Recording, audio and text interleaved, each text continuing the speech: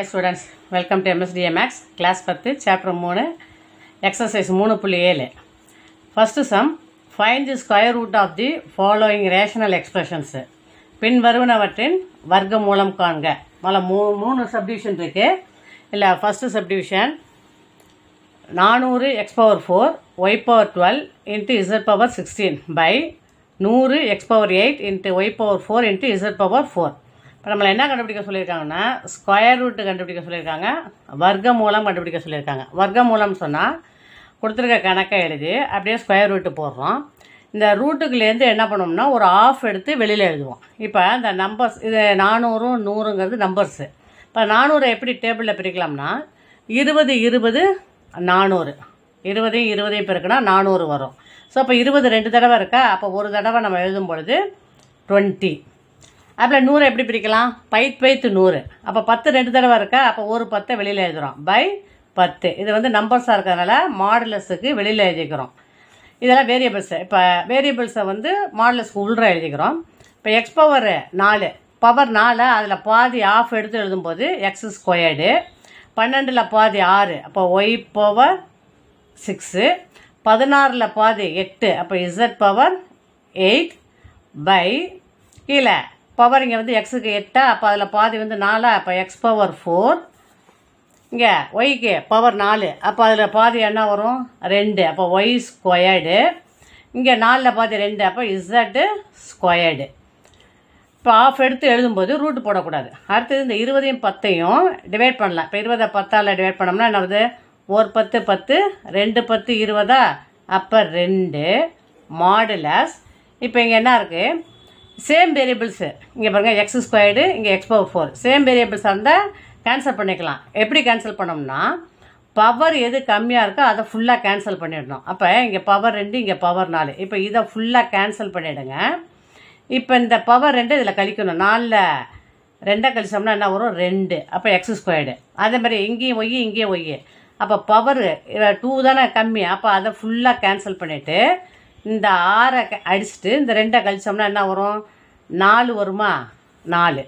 அதே போல் இங்கே இசட் பவர் எயிட்டு இங்கே இசட் ஸ்கொயர்டு பவர் கம்மியாக உள்ளது. இதுதானே. அப்போ இதை ஃபுல்லாக கேன்சல் பண்ணிவிடுவோம் இந்த ரெண்டு இந்த எட்டில் கழிச்சோம்னா என்ன வரும்? ஆறு வரும்.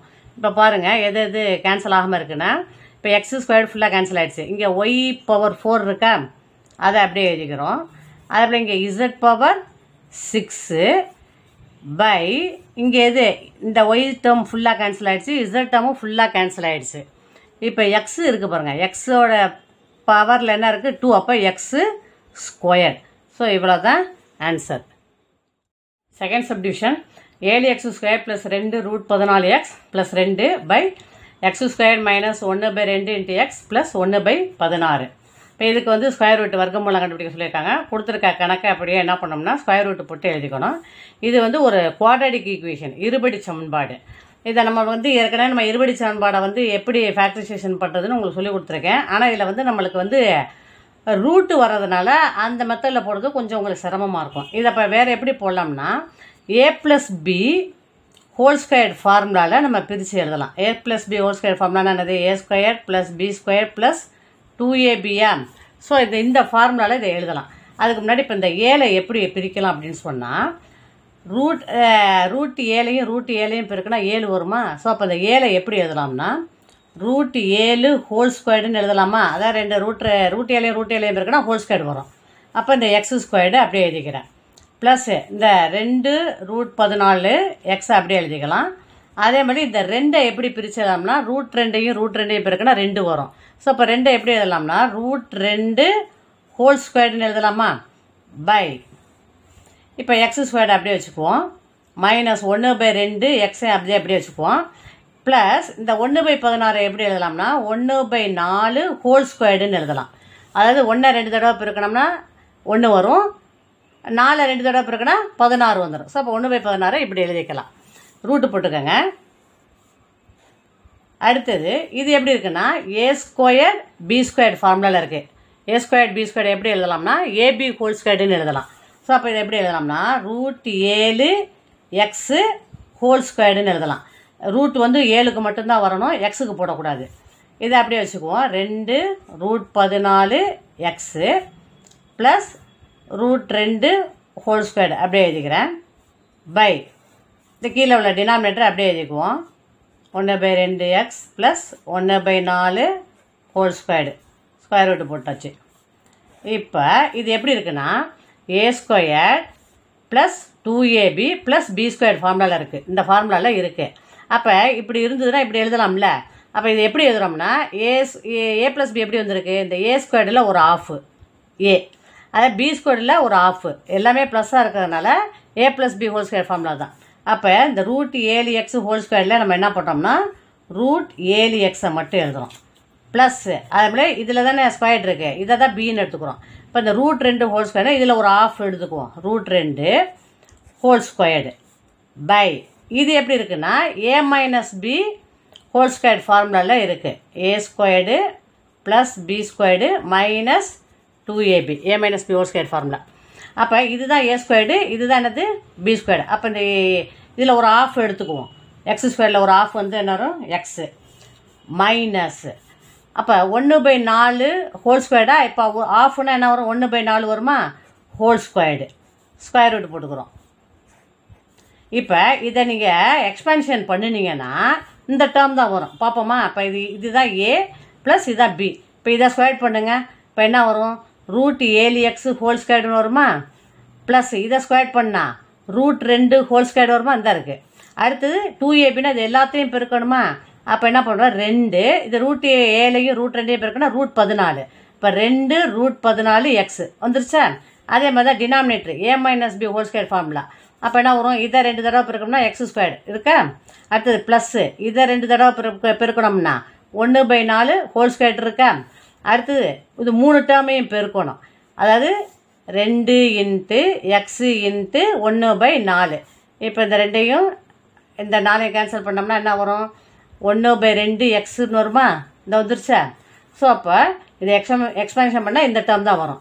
இப்போ பாருங்கள் ஸ்கொயர் ரூட்டுக்குள்ளே நம்ம வெளியில் எடுக்கும்போது ஒரு ரூட்டுக்குள்ளேருந்து வெளியில் எடுக்கும்போது ஒரு ஆஃப் எடுத்து எழுதுவோம். அப்போ என்ன வரும்? ரூட் ஏழு எக்ஸ் ப்ளஸ் ரூட் ரெண்டு பை என்ன வரும்? இது கீழே டினாமினேட்டர் எக்ஸ் மைனஸ் ஒன்று பை ஃபோர் மாடலஸில் போட்டுக்கோங்க. ஓகேவா அடுத்தது ரூட் ஏழு எக்ஸ் ப்ளஸ் ரூட் ரெண்டு ஹோல் டிவைடட் பை இந்த நாலு என்ன பண்ணுறோம் குறுக்க பெருக்கிறோம். அப்போ என்ன வரும்? நாலு எக்ஸு மைனஸ் ஒன்று பை நாலுன்னு வரும். மாடுலஸ்ஸு இப்போ என்ன பண்ணோம்? இதான ஹோல் டிவைடட் பை இதுக்கு கீழே இருக்கிறத நம்ம ரெசிப்ரோக்கில் எழுதுவோம். அப்போ ரூட் ஏழு எக்ஸ் ப்ளஸ் ரூட் ரெண்டு ப்ராக்கெட்டில் போட்டுக்கிறேன். இன்ட்டு இது அப்போ என்ன வரும்? நாலு பை நாலு எக்ஸ் மைனஸ் ஒன்றுன்னு வருமா? மாலஸ்ஸு எல்லாமே முன்னாடி ஈக்குவல் போட்டுக்கோங்க.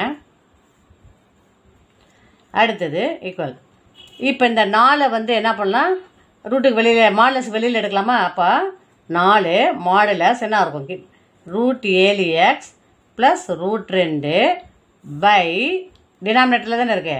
நாலு எக்ஸ் மைனஸ் ஒன்று ஸோ இவ்வளோ தான் ஆன்சர் தேர்ட் சப்டிவிஷன் நூற்றி இருபத்தி ஒன்று into A plus B whole power eight into X plus Y whole power eight into B minus C whole power eight by எண்பத்தி ஒன்று into B minus C whole power four into A minus B whole power twelve into B minus C whole power four இப்போ இதுக்கு வந்து square root வர்க்கமூலம் கண்டுபிடிக்கணும்.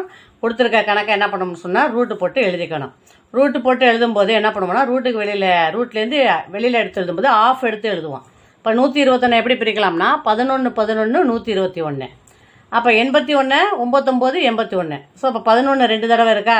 அப்போ ஒரு தடவை எழுதுகிறோம் பை ஒம்பத்தொம்போது எண்பத்தொன்னா அப்போ ஒரு ஒம்போதை எழுதுகிறோம் பதினொன்று பை ஒம்பது போட்டு மாடலஸ் இப்போ இது வந்து இதிலலாம் பவரில் எவ் எவ்வளோ இருக்கோ அதில் ஆஃப் எடுத்து எழுதணும் அப்போ என்ன வரும்? இங்கே எட்டா அப்போ பாதி நாலு.